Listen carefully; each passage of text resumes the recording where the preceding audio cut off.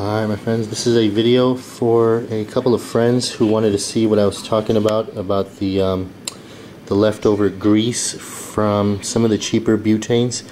So as you can see right now, the what you're looking at right now, the back side of that, really clean. I just wiped it off. There's nothing there. Feels really clean. Okay, so I'm going to take the five times, where'd it go? Here it is.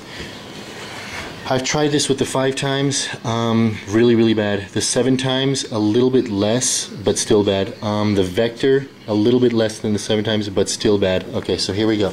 Clean, and then I'm gonna shoot some tane down here. Okay. So we're gonna wait for that to evaporate and it already did because I didn't shoot too much of it. So let me put this down I'm going to show you guys here the stuff left over. If I can um, get a good shot of it here. There it is right there. See so you can see from there it started to run down and it pulled up right there. Now you might be thinking, well, that's not that bad. So I'm going to run my fingers and make little like grease circles.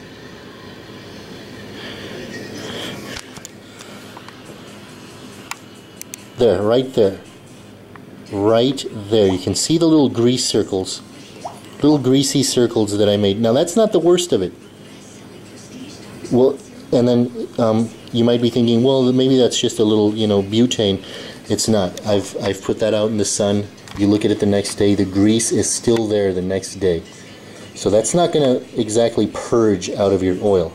The grease was there the next day. So, and that's still not the worst of it. Here's the worst of it. After you do this, if you smell your finger, it smells incredibly toxic. Just horrible, horrible toxic.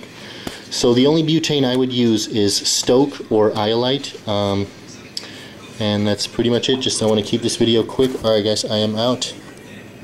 Horrible horrible horrible horrible stuff. Do not smoke wax made with five times seven times or vector. Ask for the good shit you know what I mean? Make it yourself so you're not smoking that fucking ball bearing grease. Alright guys I am out